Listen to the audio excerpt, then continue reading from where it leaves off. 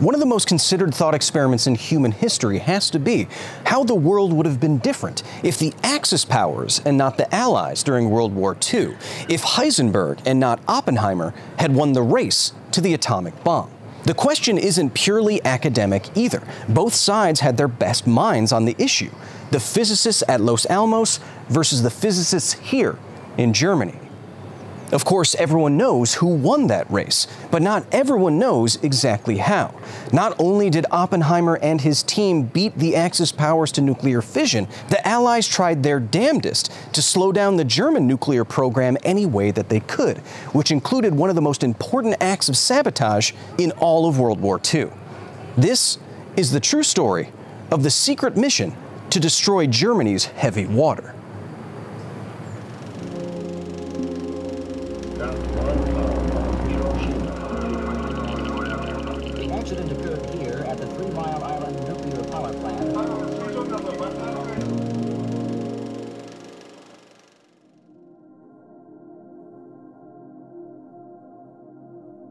It was the only offensive use of a nuclear weapon that ended World War II. On August 6, 1945, the United States decided to vaporize some 80,000 people in Hiroshima, Japan, in less time than it took me to read this sentence. The Second Great War may have already been winding down at that time, but Fat Man and Little Boy undoubtedly declared the winners. One of history's greatest questions, however, is what would have happened if those weapons had German names? If the so called Uranium Club, started in Nazi Germany in 1939, had beaten Oppenheimer to the bomb. This historical counterfactual wasn't an impossible timeline. By the end of 1939, renowned physicist Werner Heisenberg knew that the weaponization of nuclear reactions was possible. He believed all Germany needed was enough of a single, incredibly rare substance critical to advancing nuclear physics heavy water.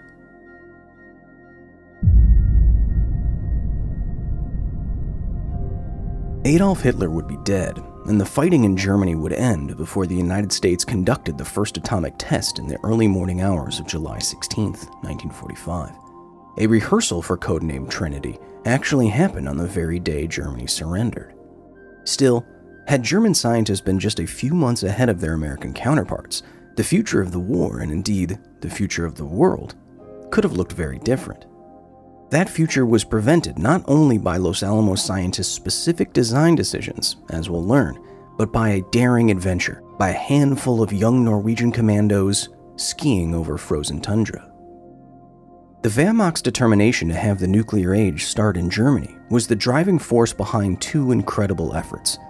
One you've certainly heard of, one you probably have not.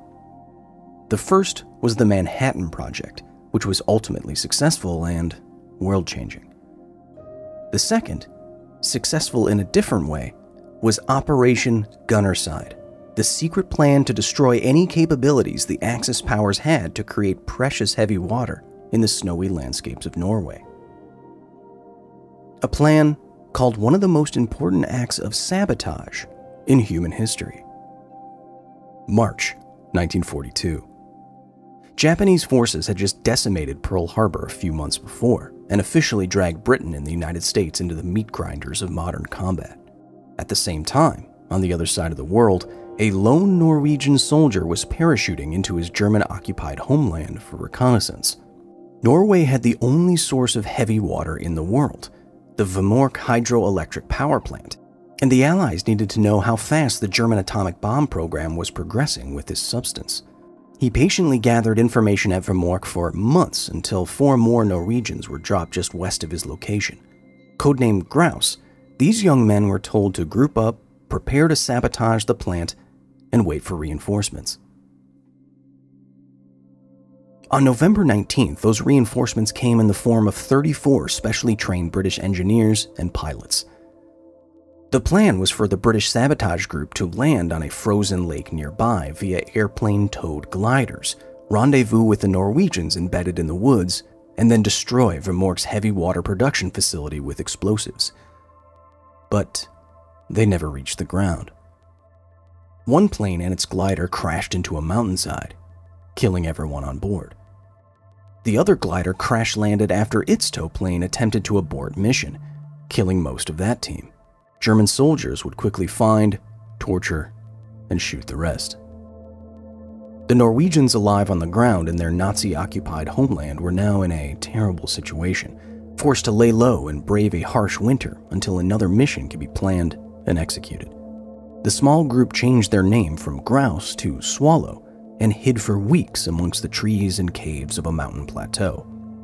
It was a bare existence. They subsisted on moss, lichen, and a single reindeer captured just before Christmas, 1943. Holiday dinner was gamey meat and the contents of the deer's stomach. Nuclear physics abounds with complicated terminology, but thankfully, heavy water is relatively simple to understand. All it is, is water that has extra neutrons in it, extra particles, hence extra mass. Technically, it's hydrogen with one extra neutron in its nucleus, deuterium, or with two extra neutrons in its nucleus, tritium. Chemically, inside of the body, Heavy water acts chemically the same and wouldn't do anything to you. And if you had a water bottle of it, you wouldn't be able to tell any mass difference. However, you can do an experiment, as you see here. If you make an ice cube purely out of heavy water, it sinks rather than floats. Heavy water inside the body doesn't do anything special, but inside of a nuclear reactor, heavy water does something that light water does not. And that's what the Germans were counting on. Heavy water may not be interesting to your biology, but it's a critical substance in nuclear physics, or it was at the time. Right before they surrendered, Nazi scientists were banking on the stuff to be how they would take over the world. That's because heavy water is heavier, it has extra neutrons, and it would slow down the neutrons that come screaming out of nuclear fission reactions. Once slowed down to thermal speed, these neutrons would be more likely to split other fissile atoms nearby, and begin a chain reaction. The ability of a material to do this is called moderation. More moderation means less actual material, in this case uranium or plutonium, needed to achieve a critical mass, the minimum amount of a material needed to initiate a spontaneous chain reaction. This is where the massive release of energy comes from, and therefore a potential weapon's destructive power. German scientists thought heavy water would be the key to their atomic program. Oppenheimer and the scientists at Los Alamos thought something else. Heavy water is not the only moderating material, and natural uranium is not the only form of the element. Instead of using a rare form of water and unenriched uranium, American scientists would pursue the physics enabled by enriched uranium, uranium with a much higher percentage of fissile or splittable atoms, and graphite, a moderating material that was much easier to get their hands on than deuterium and tritium. It would be the respective rarities of their materials and their purities that would ultimately doom the German program almost from the start. Before the war in 1934, the Vemork hydroelectric power plant became the world's first commercial heavy water plant, with a capacity to produce 12 tons of D2O per year. In 1940, Germany invaded Norway and immediately took ownership of 185 kilograms of the moderator, less than 50 gallons of heavy water, but it was the world's entire supply. If Heisenberg and his scientists were right, a nuclear reactor, plutonium, and an atomic bomb would follow shortly thereafter. The Allies weren't going to let this happen. And so, before the invasion of Norway, the French secretly moved the world's extant supply of heavy water off site and then off country, the first setback for the Uranium Club. However, Vemork still had the ability to produce thousands of kilograms of heavy water per year. This is why, while a handful of young Norwegians shivered in the snow, sustained by a single reindeer, another mission to the plant was planned another sabotage to save the world. Heavy water is rare, but natural. In seawater, for example, there is one deuterium atom for every 6,400 hydrogen atoms. It can be concentrated by various methods, but at Vemork, the Germans were relying on electrolysis, applying direct current to drive chemical reactions. It works because regular water bonds happen to break more easily than heavy water ones. So by running electricity, energy through regular water, in the presence of a catalyst, what water remains after bonds break and hydrogen gas escapes is pure D2O. But only a very small amount, maybe one milliliter for every 30 liters of regular water. Modern methods are, of course, far more efficient than this and less energy intensive, but Vemork was a power plant. It had electricity to spare. And so, what was once simply a byproduct of fertilizer production was now a mass production operation by the Nazis. A series of cascading electrolysis chambers that would provide the lifeblood of Germany's atomic weapons program. This unassuming series of metal tubes, these few pipes in a featureless concrete room, was the target of Operation Gunnerside. Before Operation Gunnerside would once again send commandos into a Nazi controlled power plant, Norwegian Royal Army Colonel Leif Tronstad reportedly informed his soldiers, quote, I cannot tell you why this mission is so important, but if you succeed, it will live on in Norway's memory for a hundred years. And then, the colonel handed the men their suicide capsules. They would need them if they were captured, given what happened to the last would be saboteurs. On February 16, 1943, this new group of six young Norwegians landed on the same mountain plateau where their compatriots were surviving. They joined the still combat able Swallow team after several days of harsh weather. Eleven days later, on the 27th, the assemblage was in striking distance of Vemork. The direct approach was now fortified with mines and floodlights and guarded by additional soldiers after the first failed attempt months before. Impossible. So the men took the long way around. The very long way. Vemork had the tactical advantage of clinging to a steep hillside. Any approach from the side, therefore, would mean climbing down and up an icy ravine so treacherous that the Nazis weren't even defending it. It was 200 meters deep. Undaunted, the commandos climbed down the ravine, crossed a frozen stream, and then climbed back up the other side, equivalent to scaling a 50 story building in the dark, carrying weapons and explosives. Twice. Through heroic effort, the men made it to an unsecured section of the plant, silently cut through a fence, and proceeded onwards. The demolition party had come with both explosives and inside information about the layout of the plant. The Norwegian resistance was alive and well. They quickly made it to the main basement via a cable tunnel and a window. A Norwegian caretaker by the name of Johansen stopped them, but surely recognizing his countrymen, was more than willing to help. The saboteurs then found the heavy water room, placed their explosives on the heavy water electrolysis chambers, and attached long fuses. Johansen stopped them again. He couldn't find his glasses, and he insisted on not leaving without them. Apparently, good glasses are very hard to find during wartime. Thankfully, this Hollywood style twist didn't give the group away. The glasses were found and the fuses lit. Without a single shot fired or life lost, the Norwegian team escaped the plant, and then the explosives destroyed most of the world's heavy water producing electrolysis chambers and over 100 gallons of the critical liquid.